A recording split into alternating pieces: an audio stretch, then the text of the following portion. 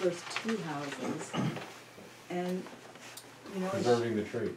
preserving at least some of the trees, yeah, um, and the, everything else that lives back there. And, um, also being respectful of the neighbors. Sure. And, um, I think if you, if you move those two houses, we'll have enough setback from the road. Will that do it? Is that? And I think, I heard, but I'm not sure from the supervisors and from the audience, that somehow you incorporate some sort of variety instead of twelve homes in a row with twenty-one foot driveways and a big yawning garage.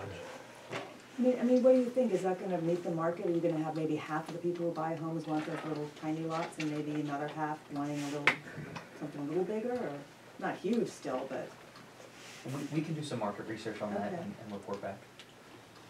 I think I had mentioned a long time ago about not having them in a row, like stepping them back and, you know, moving them in and out. So it doesn't look like you're going through a barracks. I mentioned that a Sure. long, long time ago, but it seems like nobody's made an effort to even keep wanting to do that. but would putting more space in the middle help facilitate something, that look?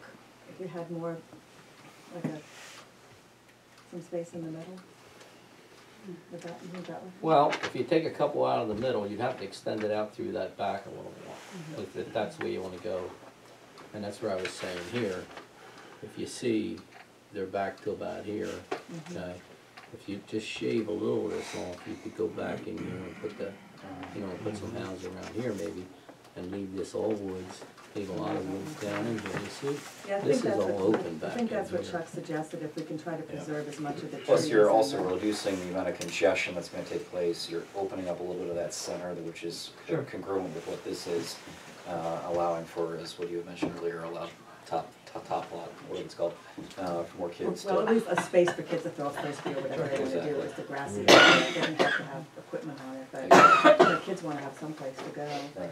And, um, yeah, Now, don't forget, you're still up on that bank up the top, so let's not bring that back up again because you're still up on that hill, okay?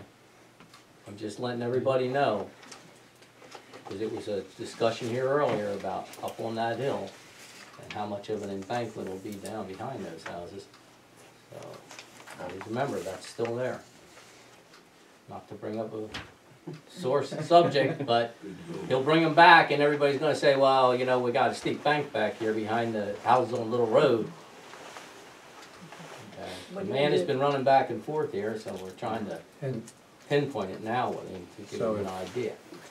if you're going to come up with a compromise of some sort, you should, John, you should start working on that overlay so that we can see how it affects the remainder of the township, because we, you're well aware, and so are we, that we can't do a spot zoning Oh, yes, just for no, you, so. I absolutely, am, yeah.